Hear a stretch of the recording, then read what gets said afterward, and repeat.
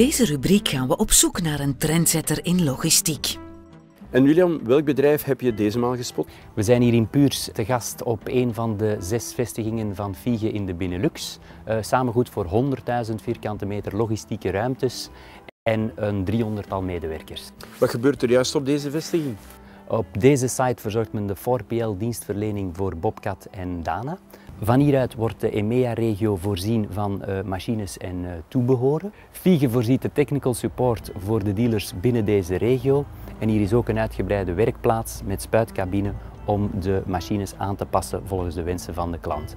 Aan de andere zijde, langs de A12, uh, eh, heeft Fiege uh, uitgebreide magazijncomplex waar opslag, goederenbehandeling en transport gebeurt voor fast-moving consumer goods.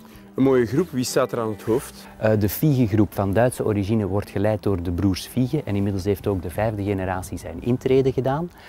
met 24.000 medewerkers actief in 18 landen denk ik dat we ze terecht een trendsetter mogen noemen. Oké, okay, bedankt William. Graag gedaan.